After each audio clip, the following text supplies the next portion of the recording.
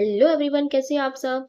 आज हम लोग पढ़ेंगे मेरी माँ class six new NCERT Malhar Hindi का पार्ट छह। मेरी माँ देखते हैं ये किस, कौन सी कहानी है, कैसी कहानी है। पहले हम इसका चैप्टर का रीडिंग करेंगे, साथ ही इसके शब्दार्थ भी जानेंगे। और नेक्स्ट पार्ट टू में हम इसके प्रश्न उत्तर देखेंगे। और पार्ट थ्री में जो भी एक्स्ट्रा क्वेश्चन बन सकते हैं, जैसे कि एमसीक्यूज इंपोर्टेंट क्वेश्चन आंसर एक तरह से आप वर्कशीट कह सकते हैं तो वो पूरी वर्कशीट में पार्ट थ्री में सॉल्व करवाऊँगे। तो चलिए फटाफट से हम पहले शब्दार्थ देख लेते हैं। जो भी नए नए शब्दार्थ है, कठिन पहला शब्दार्थ होनहार। होनहार कौन होते हैं? जो भावी होते हैं, अच्छे लक्षणों वाले होते हैं, उन्हें बोलते हैं हम होनहार। गजब गजब मीन्स कमाल। कमाल ओके यहाँ पे दूसरा है, आधिपत्य प्रभुतत्व अधिकार। ये आधिपत्य का है, प्रभुतत्व या फिर अधिकार। तीसरा है आत्मकथा अपने जीवन की कथा, जब भी कोई व्यक्ति अपने स्वयं जीवन की कथा लिखता है, आत्मकथा या फिर किसी और के जीवन की कथा लिखता है यह आत्मकथा प्रकाशित, जो छाया या प्रचलित किया गया हो। प्रकाशित मतलब जैसे कोई न्यूज़ वाले किसी मैगजीन को प्रकाशित करते हैं ना, छापा छापा कर, छापते हैं तो उसको बोलते हैं प्रकाशित। अंश, भाग, अनुरोध, याचना करना सद व्यवहार सदाचार या अच्छा व्यवहार, संकल्प, निश्चय या प्रतिज्ञा, हस्ताक्षर हस्ताक्षर सिग्नेचर होता है या हस्तखत भी बोल सकते हैं सिग्नेचर भी। खारिज, अस्वीकृत, जिसे भी स्वीकार नहीं किया जाता। आचरण, व्यवहार, नितांत, एकदम या बिल्कुल। इसे बोलते हैं नितांत अकेले तो बिल्कुल अकेले। प्रबंध, व्यवस्था, अक्षर बोध अक्षर को बोध भी बोलते हैं। वर्ण, ज्ञान, देवनागरी, भारत की प्रसिद्ध लिपि, जिसको देवनागरी बोलते हैं। वार्तालाप, बातचीत, निर्वाह, गुजारा, प्राणदंड, मृत्युदंड। प्राणदंड मतलब मृत्युदंड। उत्तरण तरण से मुक्त। जब भी हम किसी भी कर्ज से मुक्त होते हैं तो उसको बोलते हैं उत्तरण। तो तरण से मुक्त। अवर्णीय जिसका वर्णन न किया जा सके। सम लगन साथ जुड़ा हुआ या फिर लगा हुआ, श्रेय, यश, ताड़ना, दंड देना दृष्टता दृष्टापूर्ण, उदंडता, परिणाम, नतीजा, सदैव, हमेशा। जो भी मुझे शब्द लगे, वो मैंने सारे इसमें शब्दार्थ में डाले हैं। चलिए। सांत्वना सांत्वना होता है ढांढस बनाना या तसल्ली देना। उज्जवल उज्जवल चमकीला कोई चीज़ होती है, दीप्ति में बोल सकते हैं, विचलित अस्थिर चलिए, अब हम चलते हैं अपने पाठ की तरफ़। सबसे पहले इस पाठ को पढ़ने से पहले हम लेखक का परिचय लेंगे। लेखक के बारे में जानेंगे कि किस लेखक ने लिखी है उस कविता में क्या है, जिससे इसका कहानी को पढ़ने में और समझने में हमें आसानी रहेगी। लेखक से परिचय। भारत के स्वतंत्रता संग्राम में अनेक क्रांतिकारी वीरों ने अपना बलिदान दिया है। तो फिर ये कहानी कब की है? जब स्वतंत्रता संग्राम चल रहा था, जब क्रांतिकारी वीरों से अपना बल, जो अंग्रेज़ लोग थे, उनसे क्रांतिकारी लड़ रहे थे। सरफरोशी की तमन्ना, जैसे तराना लिखने वाले राम प्रसाद बिस्मिल भी उन्हीं क्रांतिकारियों में से एक थे। तो ये जो लेखक हैं, जिनकी कहानी है, वो किसकी है? राम प्रसाद बिस्मिल की। मात्र तीस वर्ष की आयु में अंग्रेज़ सरकार द्वारा उन्हें फांसी पर लटका दिया गया था। असाधारण प्रतिभा से धनी असाधारण प्रतिभा से धनी मतलब बहुत सारी प्रतिभाएँ थी उनके पास जो असाधारण नहीं थी। राम प्रसाद बिस्मिल एक अच्छे कवि और लेखक भी थे। उन्होंने अनेक पुस्तकें लिखी जिनमें उनकी आत्मकथा काफ़ी चर्चित रही। मेरी माँ उनकी आत्मकथा का ही अंश है तो उन्होंने खुद की अपनी एक आत्मकथा लिखी है, जिसमें से एक छोटा सा अंश मीस भाग, छोटा सा एक भाग मेरी माँ निकाल के आपको इस पाठ में पढ़ाया गया है, आपके चैप्टर में। तो इनके जो लेखक की है, वो इनका जन्म 1897 को और 1927 को इनकी मृत्यु हुई है। ये जन्म डेट होती है, ये मृत्यु डेट होती है। चलिए, और आप इनकी जो फ़ेमस है, जो सबसे अच्छी अच्छी क्या फ़ेमस कह सकते हैं? सरफरोशी, की तमन्ना देखना, ये आप लोगों ने ज़्यादा सुनी होगी। तो ये इनकी फ़ेमस है, जैसे तराना लिखने वाले राम प्रसाद ये दो तीन इनकी बताई गई है। आप लोगों को लेखक का परिचय याद होना चाहिए। चलिए, अब हम चलते हैं अपनी कहानी पर। मेरी माँ। श्री राम प्रसाद बिस्मिल बड़े होनहार नौजवान थे। होनहार? गजब के शायर थे। शायर भी पता होगा आप लोगों को जो शेर और शायरी करते हैं। देखने में भी बहुत सुंदर थे मतलब कि उनका जो पर्सनैलिटी थे, वो भी बहुत अच्छा था। जानने वाले कहते थे, योग बहुत थे। जानने वाले कहते थे कि यदि किसी और जगह या किसी और देश या किसी और समय पैदा हुए होते तो सेना अध्यक्ष बनते। जानने वाले मतलब जो उनके आसपास रहते होंगे, जो उनको जानते होंगे, उनका व्यक्तित्व जानते होंगे, वो सोचते होंगे कि अगर उस समय, जिस समय ये उनकी मेरी माँ, उन्होंने जो आत्मकथा लिखी तो बताया कि हमने परिचय में पढ़ा कि अंग्रेज़ी, अंग्रेज़ों का शासन था तो अंग्रेज़ों के साथ समय जो था अच्छा ही नहीं था। तो यह कहना है कि हमारे देश के प्रसिद्ध स्वतंत्रता सेनानी भगत सिंह का बिस्मिल के बारे में। तो ये किसका कहना था? भगत सिंह। ये प्रश्न बन सकता है कि जो उस समय पैदा ना होते तो कुछ और सेना अध्यक्ष होते तो ये किसने कहा था? भगत सिंह ने। राम प्रसाद बिस्मिल का जन्म जब हुआ उस समय भारत पर अंग्रेज़ों का आधिपत्य था। आधिपत्य अधिकार था। बिस्मिल छोटी सी आयु से ही भारत की स्वतंत्रता के लिए अंग्रेज़ों से लड़ते रहे। छोटी सी आयु से लड़ रहे हैं। अंग्रेज़ों ने उन्हें जेल भेज दिया और फांसी की सजा दे दी। भाई देखिए जेल भी भेज दिया फांसी की भी सजा दे दी। जेल में भी उन्होंने अंग्रेज़ों के अनेक अत्याचार सहे। जेल में रहते रहते ही उन्होंने चोरी छिपे अपनी आत्मकथा लिखी। चोरी छिपे चुपचाप अंग्रेज़ों को पता नहीं लगने दिया। अंग्रेज़ों से बचते बचाते जेल से बाहर भेजते रहे और लिख लिख के अपने पास नहीं रखा। भेजते रहे। क्यों? पास रख लेंगे तो देख लेंगे। उनके साथियों ने उसे प्रकाशित भी करवा दिया। इसका नाम रखा गया निज जीवन की एक छटा। तो उनकी आत्मकथा की जो आत्मकथा का जो टाइटल था वो क्या रखा गया? नाम निज जीवन की एक छटा। पुस्तक इस पुस्तक ने अंग्रेज़ों के होश उड़ा दिए। लोगों में अंग्रेज़ों के विरुद्ध क्रोध और बढ़ गया। इस तरह इस आत्मकथा के कारण अंग्रेज़ बिस्मिल को फांसी देने के बाद भी उन्हें हरा ना सके। देखिए, फांसी दे दी, अंग्रेज़ों ने बिस्मिल को मार दिया, लेकिन हरा नहीं सके। क्यों? क्योंकि जो उन्होंने आत्मकथा है, वो इतनी प्रचलित हो गई है, सब लोगों ने पढ़ी है तो जो समाज में उनके प्रति, अंग्रेज़ों के प्रति क्या है? वो सारी बता गए कि अंग्रेज़ कितना अत्याचार कर रहे हैं तो भाई, अब सपोर्ट तो किसको मिलेगा? विस्मिल को ही मिलेगा ना? इस कथा के माध्यम से आज भी विस्मिल हमारे मस्तिष्क में जीवित है। आज भी यह आत्मकथा लोगों को प्रेरित करती है। क्या आप भी उनकी आत्मकथा को पढ़ना चाहते हैं? क्या हाँ? हाँ तो यह प्रस्तुत है उसी आत्मकथा का एक अंश। अब हम लोग उनकी आत्मकथा का एक छोटा सा भाग पढ़ने जा रहे हैं।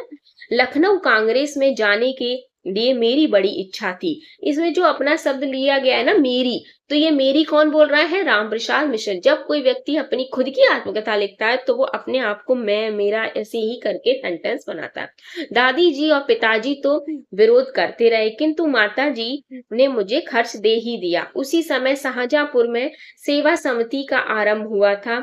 मैं बड़े उत्साह के साथ सेवा समिति में सहयोग देता था। पिताजी और दादा, दादी जी को मेरे इस प्रकार के कार्य अच्छे ना लगते थे। किंतु, देख भाई, पिताजी और दादी जी को नहीं अच्छे लगते, लेकिन उनकी माँ है, जो उनका उत्साह बढ़ाती है, उनके साथ रहती है, और ये उस समय शाहजहापुर में सेवा समिति शाहजहापुर कहाँ पड़ता है? ये यूपी में, उत्तर प्रदेश में। उत्तर प्रदेश में यू शाहजहापुर पड़ता है, सेवा समिति का आरंभ हुआ था, चलिए।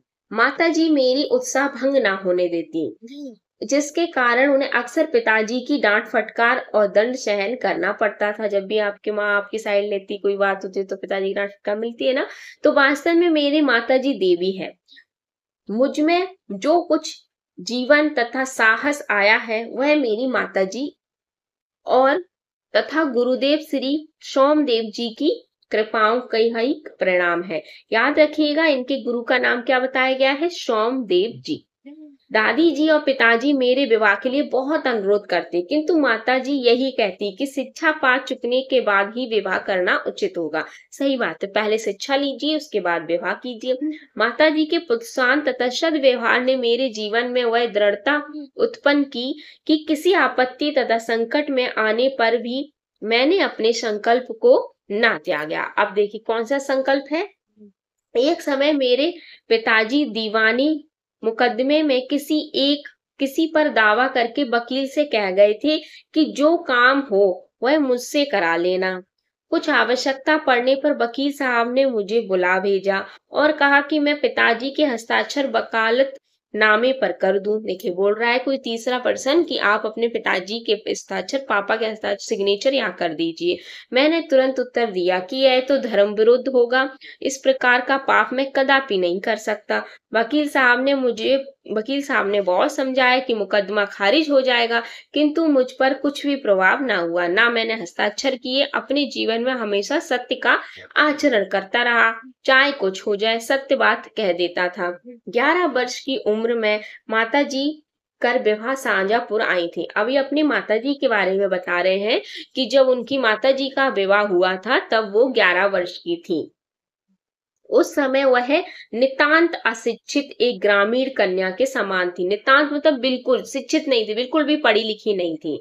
ग्रामीण कन्या गाँव की लड़की। शाहजहापुर आने के थोड़े दिनों बाद दादी जी ने अपनी छोटी बहन को बुला लिया। उन्होंने माता जी को गृह कार्य की शिक्षा दी। गृह कार्य, घर के काम, किसको? दादी जी की बहन को। थोड़े दिनों में माता जी ने घर के सब कामकाज को समझ लिया और भोजन आदि का ठीक ठीक प्रबंध करने लगी। मेरे जन्म होने के पाँच या सात वर्ष बाद उन्होंने पढ़ना हिंदी पढ़ना आरंभ किया। देखिए उनका जन्म भी हो गया रामप्रसाद बिस्मिल जी का। अब वो हिंदी उनकी माता जी हिंदी पढ़ना सीख रही शौक उन्हें खुद ही पैदा हुआ था। मोहल्ले की सखी सहेली जो घर आया करती थी, सखी सहेली जो आसपास की लड़कियाँ होती फ्रेंड बन जाती तो वो घर आया करती थी। उन्हीं में जो शिक्षित थी माता जी उनसे अक्षर बोध करती थी। अक्षर बोध उनसे पूछती थी कि ये अक्षर क्या है, ये वर्ण क्या है। इस प्रकार घर का सब काम कर चुकने के बाद जो कुछ समय मिल जाता, उसमें पढ़ना लिखना करती। परिश्रम के फल से थोड़े दिनों में ही वह देवनागरी पुस्तकों का अध्ययन करने लगी। देवनागरी मीन्स हिंदी, जो भारत की हिंदी की लिपि है। मेरी बहनों को छोटी आयु में माता जी ही शिक्षा दिया करती थी। जब से मैंने आर्य समाज में प्रवेश किया है माता जी से खूब वार्तालाप होता है। उस समय की अपेक्षा अब उनके विचार भी कुछ उदार हो गए हैं। पढ़ने के बाद हमारे विचार काफ़ी अलग हो जाते हैं। यदि मुझे ऐसी माता ना मिलती तो मैं भी अति साधारण मनुष्यों की भांति संसार चक्र में फंसकर जीवन निर्वाह करता। शिक्षा आदि के अतिरिक्त क्रांतिकारी जीवन में भी उन्होंने मेरी वैसी ही सहायता की है, जैसे मेजनी को उनके, उनकी माता ने की थी। ये मेजनी इजनी शब्द शायद मैंने शब्दार्थ में नहीं डाल पाया, कोई नहीं, मैं अभी नहीं तो आगे चल के बताती हूँ।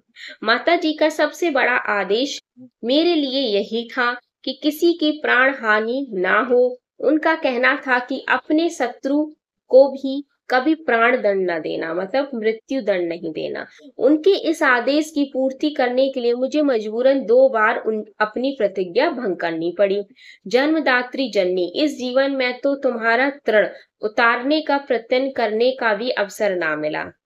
तृण, जो कर्ज होता है माँ का, वो। इस जन्म में तो क्या यदि मैं अनेक जन्मों में भी सारे जीवन प्रतन करूँ तो भी तुमसे उत्तरण नहीं हो सकता। उत्तरण इस तुम्हारे ऋण से मुक्त नहीं हो सकता, तुम्हारे कर्ज से मुक्त नहीं हो सकता। जिस प्रेम और तथा दृढ़ता के साथ तुमने इस तुच्छ जीवन का सुधार किया, वह आवरणीय है, जिसका वर्णन ही नहीं किया जा सकता। मुझे जीवन की प्रत्येक घटना का स्मरण है कि तुमने जिस प्रकार अपनी देव वाणी का उपदेश करके मेरा सुधार किया। तुम्हारी दया से ही मैं देश सेवा में संलग्न हो सका। धार्मिक जीवन में भी तुम्हारी ही प्रोत्साहन ने सहायता दी। जो कुछ शिक्षा मैंने ग्रहण की, उसका भी श्रेय तुम्ही को जाता है। तो वो अपना जो भी कुछ है ना, पूरी जीवन का पूरा श्रेय किसको दे रहे हैं? अपनी माँ को दे रहे हैं। कि जो भी कुछ तुमने की, मेरी ज़िंदगी में हुआ, इतना अच्छा मेरी लाइफ है, वो सब तुम्हारी वजह से। जिस मनोहर रूप से तुम मुझे उपदेश करती थी, उसका स्मरण कर तुम्हारी मंगलमयी मूर्ति का ध्यान आ जाता है। मंगलमयी मतलब वो एक इमेजिनेशन कर रहे हैं कितनी अच्छी मूर्ति, अपनी माँ को मूर्ति की तरह मान रहे हैं और मस्तक झुक जाता है। तुम्हें यदि तुम्हें यदि मुझे ताड़ना भी देनी हुई तो बड़े स्नेह से हर बात को समझा दिया। ताड़ना, डांट फटकारना, यदि मुझे दृष्टापूर्ण उत्तर दिया तब तुमने प्रेम भरे शब्दों से यही कहा कि तुम्हें जो अच्छा लगे वह करो। किंतु ऐसा करना ठीक नहीं। इसका परिणाम अच्छा ना होगा। जीवन दात्री तुमने इस शरीर को जन्म, केवल पालन पोषण ही नहीं किया, बल्कि आध्यात्मिक, धार्मिक और सामाजिक उन्नति में तुम्हें मेरी सदैव सहायक रही। जन्म जन्मांतर परमात्मा ऐसी माता, ऐसी ही माता दे। देखिए एक माँ पालन पोषण नहीं करती आपका आपका आत्मिक, धर्मात्मिक, सामाजिक, धार्मिक, जो भी कुछ होता है, सब हम माँ से ही सीखते हैं। महान से महान संकट में भी तुमने मुझे अधीर नहीं होने दिया। सदैव अपनी प्रेम भरी वाणी को सुनाती, सुनाते हुए मुझे सद्भावना, सॉरी, सांत्वना देती रही। तुम्हारी दया की छाया में मैंने अपने जीवन भर में कोई कष्ट अनुभव ना किया। इस संसार में मेरी किसी भी भोग विलास तथा ऐश्वर्य की इच्छा नहीं। संसार भोग विलास से मतलब है मतलब कोई भी आराम होता है ना से वो बोलते हम इस, ये चीज़ लेंगे या फिर किसी चीज़ की इच्छा करेंगे। तो ऐसी इनकी कोई इच्छा ही नहीं रही है। केवल एक इच्छा है। वह है कि एक बार श्रद्धा पूर्वक तुम्हारे चरणों की सेवा करके अपने जीवन को सफल बना लेता। वो चाहते हैं कि मैं अपनी माँ की सेवा करूँ। किंतु यह इच्छा पूर्ण होती नहीं दिखाई देती। क्यों? क्योंकि वो जेल में आत्मकथा लिख रहे हैं और उन्हें क्या है? फांसी सुनाई जा चुकी है। तो मैं मेरी मृत्यु की दुख भरी खबर सुनाई जाएगी। माँ, मुझे विश्वास है कि तुम यह समझ कर धैर्य धारण करोगी कि तुम्हारा पुत्र माताओं की माता या भारत माता की सेवा में अपने जीवन को बलि देवी बलि देवी की भेंट कर गया। और उसने तुम्हारी कोख कलंकित ना की। अपनी प्रतिज्ञा पर दृढ़ रहा। जब स्वाधीन भारत का इतिहास लिखा जाएगा तो उसके पृष्ठ पर उज्जवल अक्षरों में तुम्हारा भी नाम लिखा जाएगा। गुरु गोविंद सिंह जी की धर्म पत्नी ने जब अपने पुत्रों की मृत्यु की खबर सुनी तो बहुत प्रसन्न हुई थी। ये गुरु गोविंद सिंह जो है, उनके बारे में बताया जा रहा है। तो गुरु गोविंद सिंह की जो पत्नी थी ना, उनके पुत्रों की, उनके बेटों की या उनके बच्चों की मृत्यु की खबर सुनाई दी तो बहुत खुश हुई थी। वो क्यों? कोई खुश होता है अपने बच्चों की मौत में नहीं, लेकिन फिर वो क्यों हुई थी? गुरु के नाम पर धर्म राक्षक अपने पुत्रों के बलिदान पर मिठाई बांटी थी। उन्होंने ऐसा किया था, आप लोग उनकी कहानी पढ़ना चाहते हैं तो सर्च कीजिएगा, ये कहानी बहुत अच्छी है। जन्मदात्री वर दो की अंतिम समय भी मेरा हृदय किसी प्रकार विचलित ना हो। ये बोल रहे हैं, जन्मदात्री अपनी माँ से वर दो की, वर दो मतलब मुझे ऐसा बलिदान दो कि जब मुझे फांसी लगे, जो मेरा अंतिम समय आ जाए तो उसमें मेरा हृदय विचलित ना हो। एकदम से मैं डर ना जाऊँ। डर से सब समझिए, तुम्हारे चरण कमलों को प्रणाम कर मैं परमात्मा का स्मरण करता हुआ शरीर त्याग करूँ। मतलब मैं जब मुझे फांसी हो तो मैं तुम्हारे पैरों को का ध्यान करूँ और परमात्मा भगवान का ध्यान करके शरीर त्याग करूँ। किसकी है? राम प्रसाद बिस्मिल ने। चलिए, इसके एनसीआरटी के जो भी क्वेश्चन आंसर है सब परिचय हमने पढ़ लिया है। वो हम पार्ट टू में करेंगे। पार्ट थ्री में हम वर्कशीट एक तरह से सॉल्व करेंगे। अगर आप लोग चैनल पर नए हैं तो लाइक कीजिए शेयर कीजिए सब्सक्राइब कीजिए। Thanks for watching bye bye